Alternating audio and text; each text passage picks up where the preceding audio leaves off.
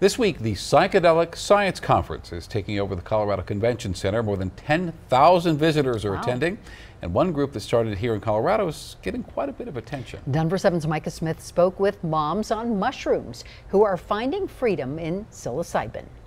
A group of moms sharing a plant based recipe. I know, it's amazing. Not for dinner, but for what they call a special kind of healing. We are a community of mothers who uh, want to gather around the sacred use of working with psychedelics, specifically microdosing.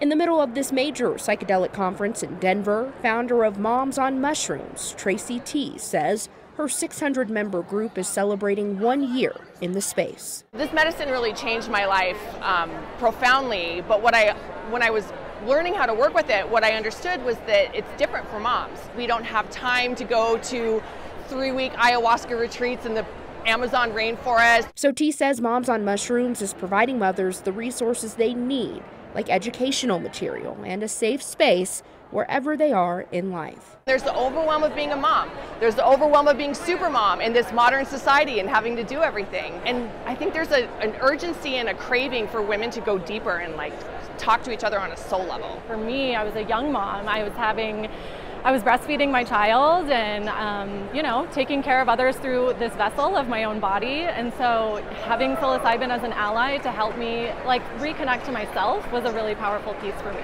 Anastasia Lopes, mom's head of facilitation, says she wants other mothers to experience that feeling. We need a village, and that is what Moms on Mushrooms can provide. What do you say to your critics that say this is not something you should be doing as a mother? I would say, first of all, uh, microdosing specifically, we're not high. So you're taking a subperceptual dose of psychedelic medicine. To be clear, psilocybin was decriminalized in Colorado in 2022.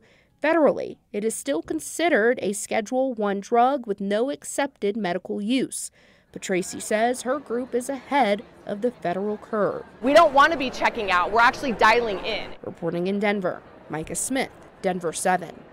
And this Friday at 11 a.m., Moms on Mushrooms will gather at the Colorado Convention Center's Blue Bear to demand comprehensive research on psychedelics. And digging deeper here into decriminalization. Proposition 122, the Natural Medicine Health Act, passed last November with 53% approval. It creates a framework for regulating some psychedelics, but other parts of the bill are already taking effect. Coloradans 21 and older are allowed now to possess and use psilocybin magic mushrooms. It also sets up the decriminalization of DMT, ibogaine, and mescaline. The state must also develop rules for things like drug testing standards and health and safety warnings by January 1st of next year.